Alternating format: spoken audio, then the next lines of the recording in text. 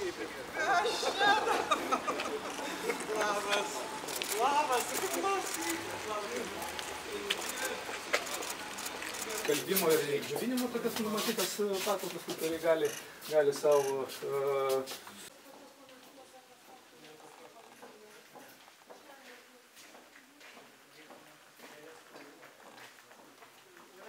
Ir šiltoka.